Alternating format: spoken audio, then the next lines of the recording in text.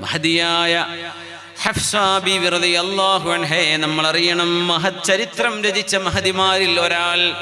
ഇതാരുടെ മോളാണെന്നറിയുമോ? ആരെക്കുറിച്ചാണോ പ്രവാചകർ പറഞ്ഞത്? ഉമറേ നിങ്ങളൊരു വഴിയിലൂടെ വരുന്നു എന്നിരിക്കട്ടെ.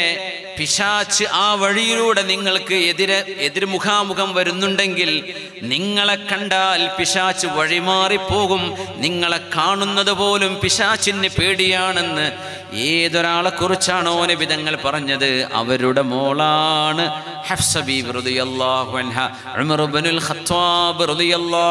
മോൾ. റസൂലും തമ്മിൽ കുടുംബജീവിതത്തിൽ ചെറിയൊരു പ്രശ്നം സംഭവിച്ചിട്ട് ഹഫ്സബീബ് റളിയല്ലാഹു അൻഹയെ ത്വലാഖ് ചൊല്ലുന്നിടത്തേക്ക് വിഷയമെത്തി. ഉമർ റളിയല്ലാഹു തആല തലയിൽ മണ്ണ് വാരിയിട്ടിട്ട് മദീനയിലൂടെ നടന്ന് കരഞ്ഞിട്ടുണ്ടായിരുന്നു. എന്റെ മോൾക്ക് നഷ്ടം വന്നല്ലോ. എന്റെ മോളുടെ ജീവിതം നഷ്ടമായല്ലോ. മാ അസ്ബഹല്ലാഹു യുബാലി ബി ഉമർ വലാ ബിബ്നതി ഉമർ. ഹഫ്സ ബീവി നബി തൊലാക്ക് ചൊല്ലുമെന്നാണ് വിഷയമെത്തിയത്. പിന്നെ എന്ത് വേണം? നിബിതങ്ങൾ അമൃതങ്ങൾ എപ്പോഴും പറയട്ടോ കല്യാണം കഴിച്ചു കൊടുത്തു നിബിതങ്ങൾക്ക് നിബിതങ്ങളുടെ അമ്മോഷന അമൃതി അള്ളാഹുന്നു നിബിതങ്ങളുടെ അമ്മോഷന സിദ്ദീഖ് എന്നവര് നിബിതങ്ങളുടെ പുതിയാപ്പിളയ ഉമർ എന്നവര് സോറി ഉസ്മാൻ എന്നവര് നിബിതങ്ങളുടെ പുതിയാപ്പിളയാണ് അലി എന്നവര് റുദി അള്ളാഹു അജ്മായി അമൃതങ്ങൾ പറയും ഹഫ്സ ബീവി ആയിഷ ബീവി അള്ളാഹിന്റെ റസൂലിനോട് കൊഞ്ചുന്ന പോലെ ഹഫ്സ നിങ്ങൾ കൊഞ്ച നിങ്ങൾ കൊഞ്ചിക്കൊഴയാൻ നിൽക്കരുതേ ആയിഷ ബീവി ഇച്ചിരി സ്വാതന്ത്ര്യമെടുത്ത് നബിയോട് പലതും പറയും. ആയിഷ ബീവി പറയുന്ന പോലെ വാക്കിന് ഉത്തരം. ആയിഷ ബീവി അങ്ങനെ തങ്ങളോട് പലതും പറയും. ഒന്നും വിഷമായിട്ടല്ല പക്ഷെ ബീവി ആ ഒരു ഫ്രീഡം കാണിക്കും. ഫ്രീഡം കാണിക്കും. ആയിഷ റളിയല്ലാഹു അൻഹ ഇച്ചിരി സ്വാതന്ത്ര്യമെടുത്ത് നബി തങ്ങളോട് പെരുമാറും. അപ്പൊ അന്ന് രാത്രി നബിതങ്ങൾ സൊല്ലാഹു അലൈഹി വസല്ലം കൂടെ വിരിപ്പിൽ കിടക്കുന്നുണ്ടോ ഇല്ലേ എന്ന് ആയിഷ ബീവിക്ക് ഒരു സംശയം. അപ്പൊ നബി അങ്ങ് തപ്പി നോക്കുക. അപ്പൊ രാത്രി ഇരുട്ടാണ്. അന്ന് വിളിച്ചല്ല. കല്ലൊക്കെ ഉരസിയിട്ട് വേണം കത്തിക്കാൻ. ലൈറ്റും ഇതൊന്നും സ്വിച്ചൊന്നുമില്ലല്ലോ അപ്പൊ ആയിഷ ബീവിക്ക് സംശയം. നബി വീട്ടിൽ നിന്ന് എഴുന്നേറ്റ് പോയോ? തൊട്ടപ്പുറത്ത് നബിതങ്ങളുടെ ഭാര്യയുണ്ടല്ലോ അവരുടെ അടുത്തേക്ക് പോയോ എന്ന് സംശയം. അങ്ങനെ ബി നബി നബിതങ്ങൾ ഇങ്ങനെ തപ്പി നോക്കുകയാണ്. തപ്പി നോക്കുമ്പോൾ നബിയുടെ കണ്ണിൽ മുഖത്താണ് ആയിഷ ബീവിന്റെ കൺ കൈ തട്ടിയത്. അപ്പൊ തങ്ങൾ ഉണർന്നു സൊല്ലല്ല തങ്ങൾ അവിടെ ഇരിക്കുന്നുണ്ട്. അപ്പൊ ഈ തപ്പൽ കണ്ടപ്പോ നബിതങ്ങൾ ചോദിച്ചു ആയിഷ നിങ്ങളുടെ ശൈത്താങ്ങളുടെ അടുത്ത് വന്നല്ലേ? എന്ന് പറഞ്ഞാൽ നബി പോയിക്കണെന്ന് ഇങ്ങനെ നിങ്ങൾ മനസ്സിലാരോ പറഞ്ഞെന്നല്ലേ? അതല്ല ഇപ്പൊ ഈ തപ്പലെന്നാ നബി ഞങ്ങൾ ഉറക്കത്തിനായി ചോദിക്കുന്നത്. അപ്പൊ ആയിഷബി ഉറക്കത്തിൽ ഇങ്ങോട്ട് അമാലൊക്കെ ഷെയ്ത്താൻ നിങ്ങൾക്ക് ഷെയ്ത്താനൊന്നും ഇല്ല നബിയെ? ഇതൊക്കെ ആയിഷ ബി ചോദിക്കും. അപ്പൊ നബി ഞങ്ങൾ പറഞ്ഞു പല ഉണ്ട്. പക്ഷെ എന്റെ ഷെയ്ത്താൻ വലാഖിന്നഹു അസ്ലം ഓൻ മുസ്ലിമാൻ. ഫലാ ഇല്ല ബിഖൈർ. നന്മയല്ലാതെ തിന്മ എന്നോട് അവൻ കൽപ്പിക്കൂല. എന്റെ കൂടെയുള്ള ആൾ മുസ്ലിമായിട്ടുണ്ട് ആയിഷ. ആയിഷ ബിവി റതിയല്ലാഹുവിനെ തിരിച്ച് ചോദിച്ചതാണ് ഇതിലെ കൗതുകം. ആയിഷ ബിവി നിങ്ങളെ ഷെയ്ത്താൻ അടുത്തേക്ക് വന്നല്ലേ? അപ്പൊ അമാലൊക്കെ ഷെയ്ത്താൻ നിങ്ങൾക്ക് ഷെയ്ത്താനല്ലേ നബിയെ? വേറെ വല്ലവരും ആണെങ്കിൽ വീട്ടിൽ കൊണ്ടാക്കിയിട്ടുണ്ടാവും ഇമാര് മറുപടിയൊക്കെ പറഞ്ഞാൽ പക്ഷേ ഹബീബായ നബി അതൊക്കെ വിശാല മനസ്സോടുകൂടെ സ്വീകരിക്കും. ആ ഒരു ഫ്രീഡം സ്വന്തം ഭാര്യയല്ലേ പറയണത്? ശരി സ്വതന്ത്രം. തങ്ങൾ പറയും ഹഫ്സ ബീവി എന്റെ മോളെ ഹഫ്സ ആയിഷ ബീവി ഈ കളിക്കണ പോലെ നീ കളിക്കാൻ നിൽക്കരുത്. അള്ളാഹിന്റെ റസൂലിന് നിന്റെ സ്വഭാവം പിടിച്ചില്ലെങ്കിൽ നിന്നെ തൊലാക്ക് ചൊല്ലും. പിന്നെ നിനക്ക് ദുന്യാവ് ഉണ്ടാവില്ല ആഹ്റം ഉണ്ടാവില്ല ഇത് ഇടക്കിടക്ക് നബി നബിതങ്ങളുടെ വീട്ടിൽ ചെന്ന് പറഞ്ഞു കൊടുക്കുന്ന അമ്മോഷനാണ് ആര്? അള്ളാഹു കൂട്ടത്ത് പറയാണ് മക്കളെ കല്യാണം കഴിച്ചു കൊടുത്താൽ ഇത്ര പവം കൊടുത്തു ഞാൻ ഇത്ര ഇത്രയൊക്കെ ചെലവാക്കിയോളെ കെട്ടിച്ചു എന്നൊക്കെ പറഞ്ഞ് വീട്ടിലിരുന്ന് കാലം കഴിക്കേണ്ട. ആ വീട്ടിൽ സുഖം തന്നെയാണോ? ഇവർ നല്ല നിലക്കാണോ? റാഹത്ത് തന്നെയാണോ ജീവിക്കണത്? അവർ തമ്മിൽ എന്തെങ്കിലും സൗന്ദര്യ പിണക്കുണ്ടോ? നമുക്ക് നന്നാക്കിയെടുക്കാൻ പറ്റുന്ന വല്ല പ്രശ്നങ്ങളോടെ ഉണ്ടോ? ഇതൊക്കെ ഒന്ന് നോക്കലും കൂടെ. അമ്മോഷന്മാർക്ക് മരിക്കണവരെ ബാധ്യതയാണ് കേട്ടോ. കല്യാണം കഴിച്ചങ്ങ് വിട്ടാൽ തീർന്നു. ഇനി ഇന്നും എന്നോട് ചോദിക്കണ്ട. ഞാൻ തരാമല്ലോ ഒക്കെ തന്നില്ലേ? ഇതെന്താ കച്ചവടാ? നമ്മുടെ കുട്ടികൾ നമ്മുടെ മക്കൾ കല്യാണം കഴിഞ്ഞ് ചെന്നിടത്ത് എന്തെങ്കിലും പ്രശ്നങ്ങളുണ്ടെങ്കിൽ പെണ്ണിന്റെ വാപ്പയും ചെറുക്കന്റെ വാപ്പയും അവർ സമാധാനപരമായ ഒരു പരിഹാരം കാണണം. ഒരു ചെറുപ്പക്കാരല്ലേ? എടുത്തു ചാടി എന്തെങ്കിലുമൊക്കെ പറഞ്ഞു വരും ചെയ്തു വരും. പക്ഷേ അമ്മോശന്മാർ ഇടപെടണം എന്നാണ് പഠിപ്പിക്കുന്നത്. അതാണ് ഉമർ തങ്ങൾ ഇടക്കിടക്ക് പോയിട്ട് പറഞ്ഞു കൊടുക്കുന്നത്. നബിതങ്ങൾ ഇടപെടാറുണ്ട് ഫാത്തിമ ബീവിയുടെ വിഷയത്തിൽ. അലി തങ്ങൾ ഒരിക്കൽ ദേഷ്യപ്പെട്ട് ഫാത്തിമ ബീവിയെ ദേഷ്യപ്പെട്ട് ബഹുമാനപ്പെട്ടവര് വീട്ടിൽ നിന്ന് ഇറങ്ങിപ്പോയി അപ്പൊ നബിതങ്ങൾ വീട്ടിലേക്ക് വന്നപ്പോ നബിതങ്ങൾ ചോദിച്ചു അയിന് അലി? അലി എവിടെ ഫാത്തിമ?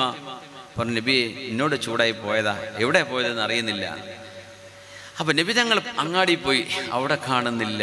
എങ്ങനെ നോക്കിയിട്ടും അലിയാരെ കാണുന്നില്ല? ഋതികല്ലാഹുവിന് അപ്പണ്ട് ഒരു മസ്ജിദിന്റെ മൂലയിൽ അന്ന് പള്ളീന്റെ ഉള്ളിലൊക്കെ മണലാണല്ലോ കാർപ്പറ്റൊന്നും ഇല്ലല്ലോ. അവിടെ ഇങ്ങനെ മണ്ണിൽ കിടക്കുന്നുണ്ട് അലി റതികൾ അപ്പോൾ മുഖത്തൊക്കെ മണ്ണുണ്ട് നെറ്റിയിലൊക്കെ. അപ്പോൾ ടെൻഷൻ അടിച്ചപ്പം പോയതാ പള്ളി കിടക്കാൻ വേണ്ടിയിട്ട്. അങ്ങനെ നബിതങ്ങൾ അലിയാരുടെ നെറ്റിയിൽ ഇങ്ങനെ തടവിയിട്ട് പറയുന്നുണ്ട് യാ അബാ തുറാബ് മണ്ണ് പുരണ്ട് കിടക്കുന്ന ആളെ എന്ന ആ വാക്കിനർത്ഥം. മണ്ണിന്റെ വാപ്പാന്ന വാക്ക് തോന്നുക. പക്ഷെ മണ്ണ് പുരണ്ട് കിടക്കുന്ന ആളെ എന്നാ അതിന്റെ ആശയം. യാ അബാ തുറാബ് കും യാ അബാ തുറാബ്.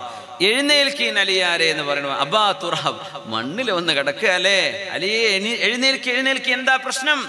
ഒന്നുമില്ല നബിയെ. എന്തെങ്കിലും പ്രശ്നമുണ്ടോ? ഒന്നുമില്ല നബിയെ. എന്നാ വരെ നമുക്ക് പോവാ. അലി തങ്ങൾ പറയാ എനിക്ക് ഏറ്റവും ഇഷ്ടപ്പെട്ട പേര് പിന്നെ അബാ തുറാബ് എന്നായിരുന്നു. അലി തങ്ങളെ ആരെങ്കിലും അബൂ തുറാബ് എന്ന് വിളിച്ചാൽ ഭയങ്കര ഇഷ്ട.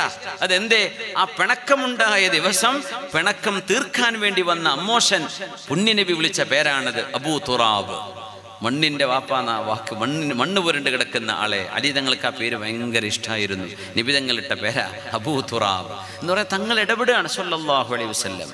അത്രേ ഉണ്ടാവുള്ളൂ. അത് നമ്മൾ ഇടപെടാതിരുന്നാൽ വലിയ പ്രശ്നമായി പൊട്ടിത്തെറി എത്തുമ്പോഴാണ് വീട്ടുകാരറിയുക പിന്നെ ഒരു രക്ഷയില്ല. അത് കുറേ കാലമായോലോ അവർ തമ്മിൽ പ്രശ്നം തുടങ്ങിയിട്ട് എന്ന് പറയും. അപ്പൊ ഇത്രയും കാലം നമ്മൾ അറിഞ്ഞില്ലേ അതൊന്നും? അപ്പൊ ഇടപെടണം. ഹഫ്സറലി അള്ളാഹുൻഹെ തൊലാക്കു ചൊല്ലാൻ നിബിതങ്ങൾ തീരുമാനിച്ചൊരു സമയം. ഉമർ തങ്ങൾ അങ്ങോട്ട് വിഷമിച്ചു. തലയിലേക്ക് മണ്ണ് വാരിയിട്ടു. ആലോചിച്ച് നോക്കി ഉമർ എന്നവർ തങ്ങൾ ജീവിച്ചിരിക്കുന്ന കാലമാണ് തലയിലേക്ക് മണ്ണ് വാരി എറിഞ്ഞിട്ട് മദീനയുടെ അങ്ങാടികളിലൂടെ റളിയല്ലാഹുവിന് നടന്നു പോയിട്ട് പറയുകയാണ്